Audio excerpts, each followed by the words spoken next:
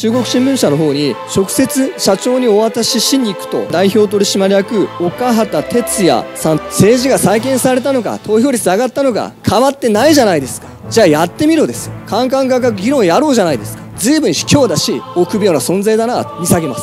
えー、市民の声です。二度と出馬するなよと。5000円もらったから投票してやったけどどういうことだと目を疑いました、えー、山本和弘委員の方から工芸館の指定管理の話が何かといえば接待交際費ゴルフコンペ商品代コンペ飲食代関係先謝礼比率で言えば30倍ですよ。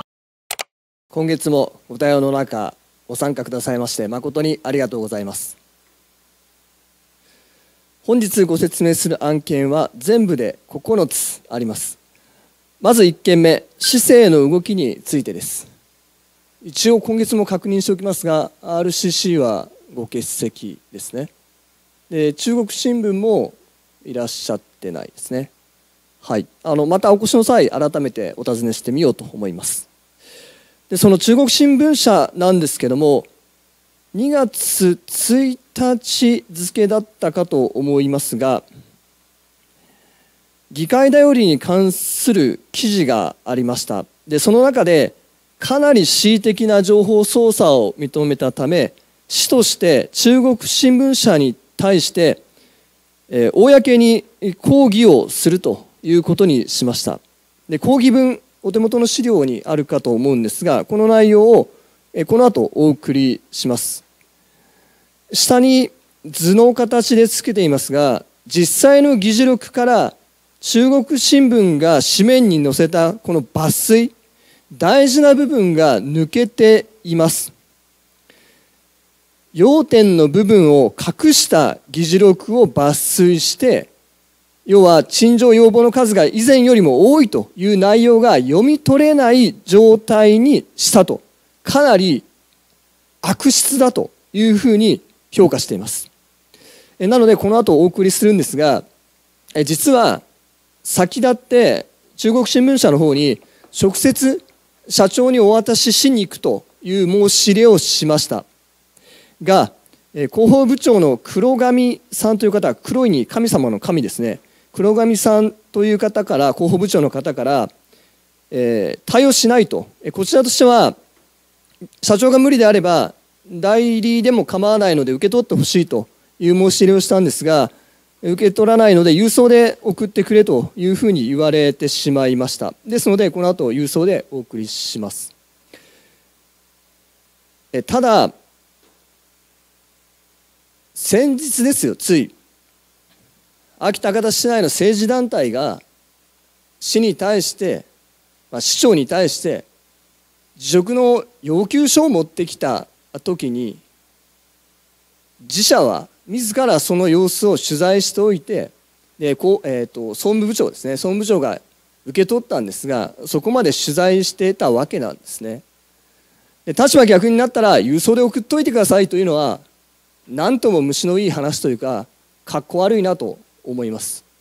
社会の公共を辞任するんであれば正々堂々と相対すべきだというふうに考えています。もう一つだけ苦言を呈しておくとこちらの広報部長以前問い合わせをした件についてまだ回答が返ってきていません。何の話かというと7月の記者会見に関して確認を求めたところ中国新聞社の名前で回答は返ってきましたがそれが誰の見解なのか記してありませんでした。常識的に考えると社の見解なので社長ではないかと思われるんですが社長名は入っていませんでした。ですので本来であれば代表取締役岡畑哲也さんという方のお名前があるべきだと思ったんですがないので一体じゃあ誰の見解なんだと本当にこれは社としての公式な見解でいいのかという問い合わせをしている最中です。こちらについてはまだ回答がありませんので今回この記者会見を通して改めてその返信を求めておきます。今の中国新聞の記事に関してもう一つお話があります。何かというとこの2月1日付の記事だと思うんですがこの中に指揮者の見解として法政大の大学院白鳥博とお読みすんだと思うんですが博教授が見解を中国新聞の方へ寄せられています。でこの中身に対して主としてどういうお考えなのかという問い合わせをしてみました。内容としては箇条書きでこういうふうに書いてあります。中国新聞に掲載されたコメントは全文が掲載されたものでしょうか。これが一つ。二つ目。コメントはどういった問い合わせに対するものだったのでしょうか。で三つ目。秋高田市議会の広報誌議会だよりですね。この内容は議事録に照らし議事録と照らしようやくと言えるとお考えでしょうかという3点についてお尋ねしてみました、えー、新聞の取材に対して見解を述べられているぐらいなので、えー、お答えしてもらえるんじゃないかと思って問い合わせをした次第です。がそれに対してですね白鳥教授の方からは、えー、お便りというか手紙をいただきましてまずその中で当方としては市長市役所という公権力が詩人である一個人に対してそのコメント内容について正すというのは権力の圧力にかんを感じます。という文言から始まる手紙を頂戴しました。私としては一体何を指してらっしゃるのかわからなくなってしまったんですが先ほど申し上げたのが質問のこちらの問い合わせの全てですので公権力ではあると思うんですが問いただすついて正すという問いは書いてないですね。正すという言動ではなかったないつもりで書いています。どのあたりが権力の圧力というふうに評価されているのかまた気になりますしもし他のメディアで確かにそうだと思われる方があればぜひご指摘ください。批判は真摯に受け止めます。一体あの問い合わせの何がどう悪いのか。新聞に見解が載ってたので相手大学の先生ですよ。指揮者として一個人ではないです。大学名を出してしかもこの方は現代政治分析がご専門というふうに書いてあるのでこちらとしても指揮者に問い合わせたまでですどのあたりが権力の圧力だったのかもし他のメディアでも確かにそれはまずいとおっしゃるんであればぜひ教えていただきたいと思いますなおその教授の方からの回答は2つ3つ1つ目2つ目については当方が答える立場にありませんというふうに返されてしまいました。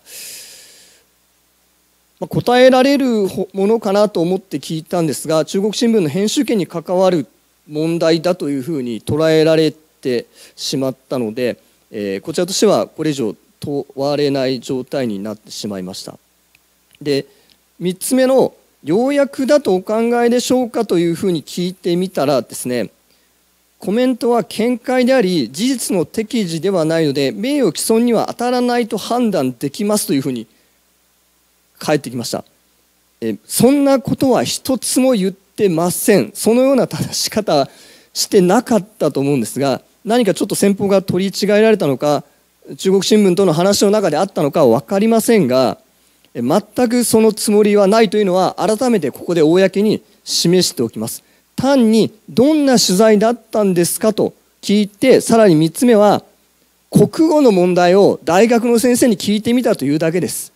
ご専門は政治の分析なのかもしれないんですが今まさにそのシーズンですね大学入試の採点、えー、問題文の作成大学の先生がやってるはずです。なので国語の問題としてあの議会だよりはようやくなんですかというふうに聞いただけです。他意はありません。がそれについて権力の乱用とも捉えられるとの言葉これは記事の中にあるんですね。は権力の乱用とは断定しておりませんと。いやそれ分かってます。もちろんです。そんなところをあのなんか問い問いそういうことを問いただして何かで訴えようという意図は全くありません、えー、そそれを言ってしまえばですね、えー、この指揮者のこのような立場も、えーなんていうんですか専門領域の権威の乱用とも捉えられるとか言い出したらきりがないですよね。それはあくまでもそれぞれの評価なのでそれに対して問い合わせたものではありません。ただただ中国新聞の記事というこれは非常に重要な情報媒体です地方においては特にそこに見解を出されてたので問い合わせたというに過ぎませんもしこれも直接お返ししてるんですがまた改めてこの教授なり法政大学大学院の方から秋田方氏に対してもしくはメディアの方から市に対して何かご意見ご感想異論反論あればぜひともお寄せいただきたいと思います。一向に批判は構いません。えというのが記事に関してとなります。でその中国新聞の絡みで言うともう一つ記事がありまして2月の15、6日付かと思うんですが、来年度の当初予算が記事になりました。で、その中で、まあ、いろいろと書いてあって、解説というのがここ数年出てきてるんですね。でその中では、選択と集中で次世代に投資する意味は大きいと。図らずも非常に褒めていただいたのかなと思うんですが、ただ見出しは、説明と納得欠かせないってなってて、でその後に続くんですね。投資する意味は大きいと言っておきながら。ただ市長が財政の20年後の危機を唱え暮らしや地域づくりを支える公共サービスの見直しを急ぐのであれば丁寧な説明と住民の納得はなおさら欠かせない。何をおっしゃってるのか全然意味が分かりませんでした。いやそんな当たり前のことは市も執行部も議会も市民ですら知ってる話ですよね。大前提のことを今更わざわざ正しただですね注意書きとして何をつけたいのかそしてそれを見出しに使うこの中国新聞のセンスというか方針というのがよく分からなかったのでここであえて問うています。でなぜこれをわざわざあえて指摘するかなんですがこれはうちに限りません。多くの自治体そして首長がこの新聞の予算に関する評価非常に苦々しく思っています。一方的にそれこそあることないこと詰め合わせて感想を盛り込むんです。ちゃんとやってるにもかかわらず重箱の隅をつつくような批判を展開する中国新聞に限らず特に新聞には多く見られます。これは他の首長もそう言ってました。とりわけ何が問題かというと書きっぱなしなんですよ。自らが問題点として指摘しておきながら批判しておきながらその後の検証をまずしないです。検証というのは問題がなかった時良かった時の話です。あの問題があれば引き続きそれは批判するんですね。でそれは一向に正しいです。問題ありません。そうであってほしいんですが問題がなかった時にちゃんとフォローしない。仕事が雑すぎだと思います。一つ例を挙げます。1年前の2月の15日の記事です。中国新聞。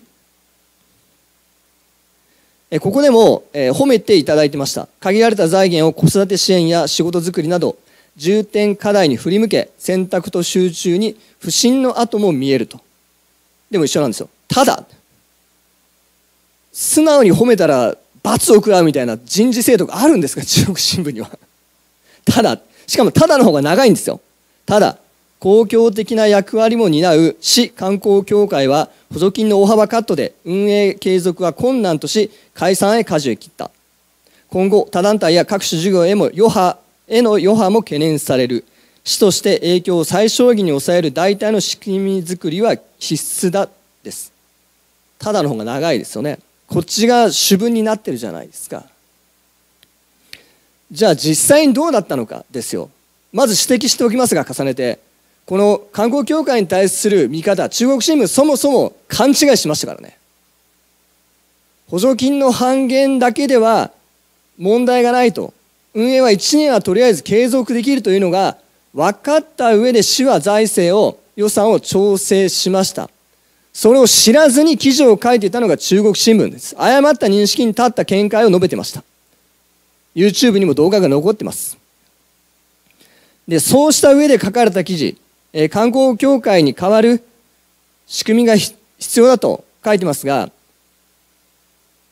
観光協会なくてもこの1年間市の観光振興最大限にできたと評価しています。むしろ市になって20年経ちますがこれほど観光振興が力入ってたことそしてうまくいったことないはずです。この中でも述べてましたが毛利元就サンフレッチェ神楽この3つの軸3本の矢でこの町を活気づけていくんだと今年度の施政方針でも述べました。で実際その通りにやってきてます。この後でもまた出てきますがサンフレッチェの応援。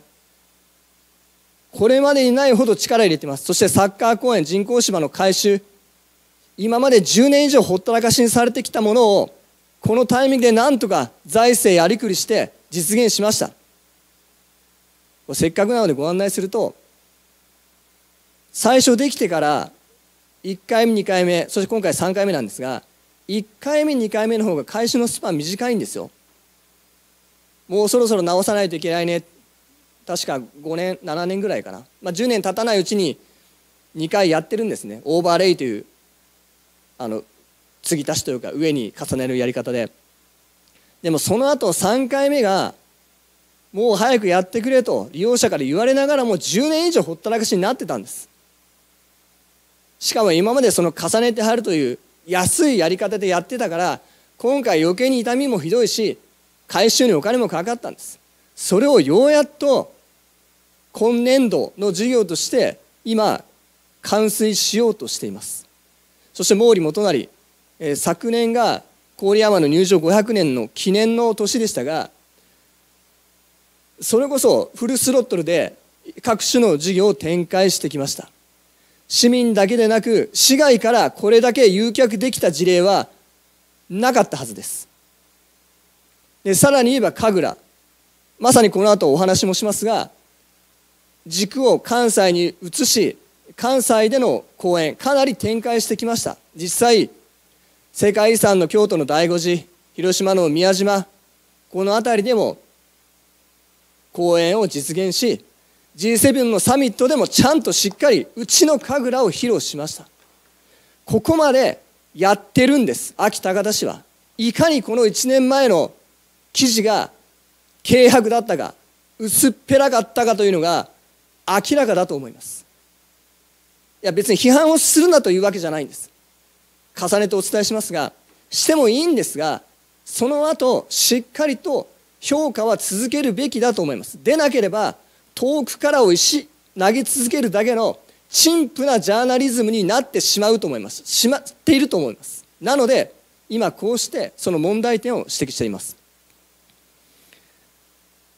ちなみにですが今の予算に関して毎年動きが出ます。その中でだけ見てもこんな表記もあります。財政調整基金の残高。2022年度予算ですね。年度末で4億2500万だと。で1年後23年度末の残高は7億2400万を見込むと。で今年度。2024年度末は8億2100万を見込むと。財政やりくりしてちゃんと貯金まで貯めてるじゃないですか。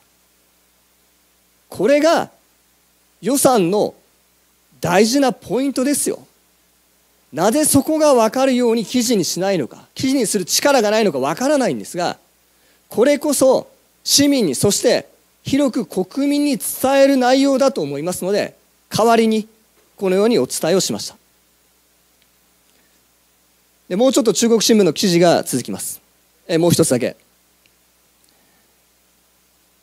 1年前に予算の話もあったんですが同時にこんな記事も出ていました。秋高田市議会の定数報酬議論の動きなし。日付は2023年の7月7日です。その時点でえ執行部の方から議員定数削減の話をした後議会改革の議論が進んでないっていう批判の記事だったんですね。で今後の市議会の対応が注目される。書いておいて注目してないじゃないですか自分たち。中国新聞、まあ、他のメディアもですけど今定数削減の話出てますか？秋高田市から。全く聞こえてこないですよね。てか議論してません。なぜそこを追求しないのかですよ。自分で言っておきながらですよ。で事実この中で言及してあるのが2022年の7月に行った市民モニター制度。75.9%が議員の数が多いと言ってたんです。その後執行部が動いてますよ。昨年の12月に同じアンケートを取って72.6%引き続き7割超の市民の方が議員定数が多いという意思を表明してます。にもかかわらず議会は無視してるんです。市民の声を民意をそこを公にし議論を促す。市民の注意を喚起することこそメディアの新聞社の役割だというふうに考えます。以上が中国新聞に対する見解です。続いてもう一社。先日というか昨年の秋なんですが産経新聞からインタビューを受けました。で今年の2月に入って記事が出てました。何人かの方は産経新聞、まあ、撮ってなくてもネットでご覧になった方もあるかと思います。でいくつか鍵がかかっている。会員登録しれしないと見れないのもあるので、えここではフリーのものだけに言及しておきますがはっきり申し上げて非常に落胆しました。がっかりしました。産経新聞もう少し骨のある新聞社ではないかなと従前思ってたんですがあれだけわざわざインタビューに答えて最後出来上がったのがこの記事だというのは残念です。何が残念かといえばこちらの行っていること一通り書いてあるんですがその真意大事なところがなぜか指揮者の薄い見解それをさらに薄切りしたものによって覆われているからです。まあ、個別に個人的にというか存じ上げている西田准教授なんかのコメントも載ってるんですがこんな一般論で済ませて何の足しになるんですか、えー、あとはどなただったかな？あの大学の教授の方教授かな？いらっしゃったかと思うんですが元政治家であの、ね、無用な対立を招いているだとかいうコメントですよ。何をもって無用とするのか？無用ではないというのをこの3年数ヶ月主張し続けてます。なぜその大事な核の部分コアの部分が記事に載ってないのか。じゃあ代わりに聞いてみますが有用な対立とは何ですか？どこにあるんですか？誰がやってるんですか？どの自治体で見れるんですか？ないじゃないですか。だからここ秋高田市でその実態を様子を広く国民に伝えてるんです。この高いところから物を言うスタンス別に悪いとは言わないんですがじゃあそれで何かの足しになったのかですよ政治が再建されたのか投票率上がったのか立候補者が増えたのか変わってないじゃないですかそんな指揮者の見解に価値があるとは思えませんじゃあやってみろですよ。一人の有権者でもいいから投票に行かせてみろ。一人の候補でいいから立たせてみろ。実用的でない指揮者の見解というのは使命を埋めるにはちょうどいいのかもしれないんですが結果読者が誤解をします。勘違いを下手したらさせます。それはむしろ社会にとって害悪です。断じておきます。以上の見解に対してまた何か異論反論あればさっきの西田先生でもいいんですがいくらでも対話の機会を持ちます。それこそ新聞社テレビ局でもいいんですが対談の機会をセットしていただいていただいても結構ですと。私いくらでも来ます。カンカン価格議論やろうじゃないですか。それを受けずして指揮者としてこれをまた繰り返しますが遠くから石を投げるというのは随分卑怯だし臆病な存在だなと見下げます。ぜひ気骨がある指揮者の方私と相対してくださるのを願っています。以上が産経新聞に対する見解です。で最後市民の声というものを少しご紹介します。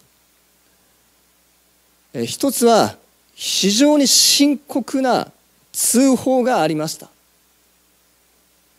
ただ先にお断りしますが真偽が分かりません。なので個別の特定につながるようなところは飛ばしております。議員に対してのコメントです、えー、市民の声です。自分の考え気持ちを自分の言葉で発表できないのか。一体誰に文章を作ってもらってんだと。ダーッと書いてあって最後。二度と出馬するなよと。5000円もらったから投票してやったけど間違いだったよと書いてあるんですよ。どういうことだと目を疑いました。でこれが本当に市民なのかここには市内と書いてあるんですが名前も書いてあるんですが名字だけね。実在するのかも特定できません。なので勘ぐってみれば何かそういう、えー、情報を印象を与えたい、えー、方のの恐れもあります。内容を読む限りではそうじゃないだろうなと受け止めるんですが分かりません実際は。なので今日この場で改めてこれは広く市民の方に問いかけてみます。もしこのような話があるんでもしあったんであればいつでも結構なので市役所の方に通報ください。方法はいくらでもあります。市の代表メールには履歴が残らない。匿名でそれが伝えられますし個別に私の方に何かお便りくださっても結構です。そこには住所氏名書いてあっても当然あの取得します。情報源は。当たり前ですが。なのでもしこれが本当にあったとこれまで自分であったり周りにあったという話があれば市までその情報をお寄せいただきたいと思います。でもう一個。最後は、え少し前向きな話をお伝えします、えー、まあ、前向きといってもこれは私の受け止めなんですけども市長の応援のメッセージを頂戴しました。市民の80代後半の女性の方からです。議員の言動について非常に厳しく批判をされています。議員の多くは反対否決するための仕事だと報酬を受け取るための議員でしかないというふうに断罪されています。ただこの前段にあるんですけどもきちんと情報が届けば私でも分かりますというようなことをお話しされてるんですね。書かれてるんですね。なのでぜひこれは執行部としてもなんですがマスコミの皆さんにメディアの皆さんにこれからも引き続き丁寧な真摯な情報発信をしていただきたいと思います。有権者もアホじゃないのでさすがに分かりますよ。印象操作情報操作もうそういう時代になってます。ここはしっかりと変なプライドを持つんじゃなくてしっかり向き合った方がよかろうと思います。以上が1件目です。え続いて2件目に移ります。え今度は全国からの応援なんですけども資料にある通りふるさと納税の額は引き続き前年を上振れて推移しています。また YouTube の広告等の収入は1月分が214万円となり5ヶ月の合計で827万円となりました。これにはスパチャも含まれてますので皆様本当にありがとうございます。なお新聞にもテレビにも全く出てこない報じられない話なんですが今回の補正予算昨日昨日ですね。その中でこの話してますよ。メディアの方が見落としてるのかスルーしたのかわからないんですがそうやって市民に大事な話が届かなくなってるんです。何かといえばこのふるさと納税じゃなくてですね YouTube の収入上振れ分を補正予算で計上してます。歳入として。3月までの見込みとして固めに保守的に計算して933万円臨時の歳入として入れてます。これが先ほど中国新聞に薄くちらっと書いてあった集中と選択その結果としての未来への投資です。こうやって財政をやりくりしてなんとか次の世代にこの町をつなげようとしているところです。続いて3件目に移ります。3件目は昨年12月の委員会のなりやり取りですね。そこからの派生です。ちょっと後ろうるさいかな。何かといえば高立駅工芸館の直営化に関して委員会の中でやり取りがありました。何かといえば山本和弘委員の方から工芸館の指定管理の話が出ました。でその中で行政の不服審査も出されたというくだりです。それに対して私の方からこのように答弁してます。え前段飛ばします。関係がないところをわざわざぶち込んでこられるので言えば指定管理にするのか直営にするのかそれは不服があって当然あってしかるべきなんですが全く別の議論をすればいいんです。しかしなぜそこに執行部があえてこのような取り組みをしているか先ほども言いました。この後です。駐車場の管理だけで見ても収入と支出合ってない状態だったと。でもう一個。工芸館の指定管理者に関して言えば決算書の中において適切と認められないような項目が上がってるんですと。この点について今回この場で補足を行います。資料にある通りです。1の括弧にですね今年度は、まあ、指定管理者は高田21という事業者なんですがそこに任せていた駅の駐車場の管理を直営化しました。市が直接経営をするようになりました。結果がこの表にある通りです。まず収入。災害があってコロナがあって落ち込んでたところから戻ってきてたのは分かるんですがたった1年間の差で1.5倍に収入がなる見込みです。客足の戻りよりこれだいぶ早いと思います。年間で80万しか2020年度収入なかったんですが120万になってます。一方で支出の方ここは人が客がいようとなかろうとあまり変わらないですよね。140万から120万の間で推移してました。2022年度は139万円かかってました。が今年度は77万円まで抑制できてます。収入と支出が合ってないというのはこの部分です。たった1年間の変化ですよ。そして運営の方法を変えただけです。なぜここまで変化が起きるのか。いろいろと資料を長級求めましたが出してもらえないところがあるもあるので出してもらえないのでここまでしか市としては説明ができませんがこのような収支の変化ずれというものが確認できています。だからです。その後に続くんですが2の括弧1来年度から駅舎駅の建物ですね。これも直営化しようとしています。指定管理ではなくて直接市が経営する運営するという話です。この表にある通りまあ、収入はほぼないんですね。駅の建物だけなので。支出の方がえ大体230万前後この5年間でかかってました。これもやはり災害があったりコロナがあったりして利用客の増減あったはずなんですが支出はほぼ横ばいです。が来年度直営にすれば169万までは抑制できるというふうに見立てています。これが直営にする理由です。もちろん委員会の議会の中でもこの辺りは言及しています。でさらに言うと括弧2です。先ほど申し上げた決算書の中において適切と認められないような項目が上がっとると。